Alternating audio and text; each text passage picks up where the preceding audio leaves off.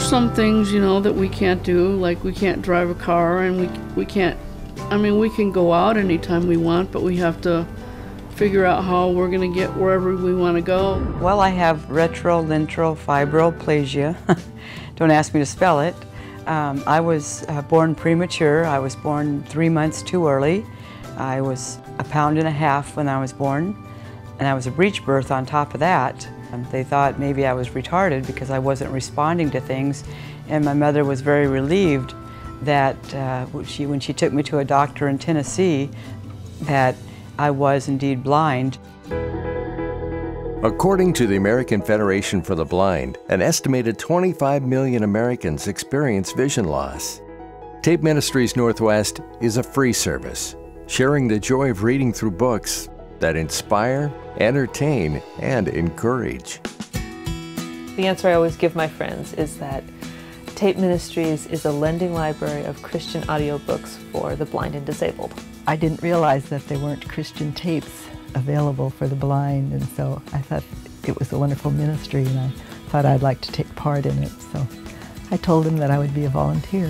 For me personally, I've always enjoyed reading aloud. Um, did a lot of it with my own children and in my years of elementary school teaching. My husband is pastor in a church, so it was kind of a love of mine to read orally, and I just really enjoy doing it. And I'm pleased that the Tape Ministry sends their materials around the country. I'm just amazed at how many people use this service. Over 30 years ago in 1980, Tape Ministries was born in the basement of Crystal and Sid Bullis's home, who were members of John Knox Presbyterian Church. At that time, just one person was reading one book for one blind person. Today, over 1,200 visually impaired people receive books, magazines, and meditations. With thousands of books on tape, the authors are diverse, offering fiction, nonfiction, biographical, autobiographical, and devotional materials. We need tape ministries because it's a way of helping people who may not be able to read ordinary books. A lot of people are elderly and seniors and they need encouragement. Maybe it goes to a nursing home and you find a person in there that's just been shut away and they're not visited and and Tape Ministries reaches in there where you or I can't go ordinarily. We have a number of patrons who had perfect sight when they were in their 20s, 30s, 40s, and just over time, maybe for medical reasons or just time, their sight is not what it once was. We get several letters um, that tell us how a specific book helped someone in a specific time. I listen to your books every day. They help pass the time when I'm not feeling well.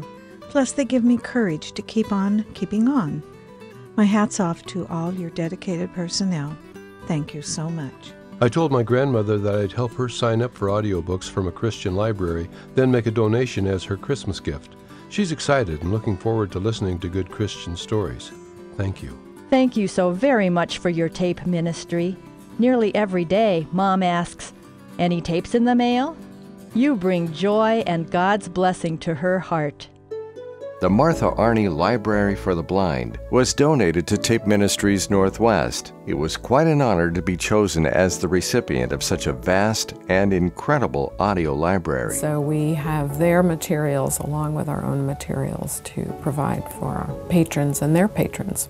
Just like it takes a village to raise a child, it takes a lot of people to run the tape ministry. There's usually five or six of us there on a Monday when I volunteer, and we're all very busy.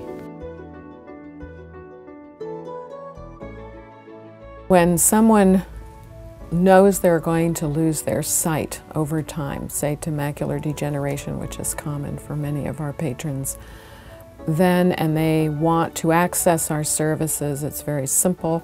It's just a phone call, and then there's a simple application to fill out and return. And then with that, you receive a catalog to access, and that has a listing of all our materials. Many people like to have the staff get a feel for what kinds of books they like, and then the staff often will send them a variety of selections of tapes. Some people get multiple books in a month easily, and with others, they keep a book for a month or two, and it takes them the time. Just like we all read at different speeds, everyone reads by listening. they read their tapes at different speeds.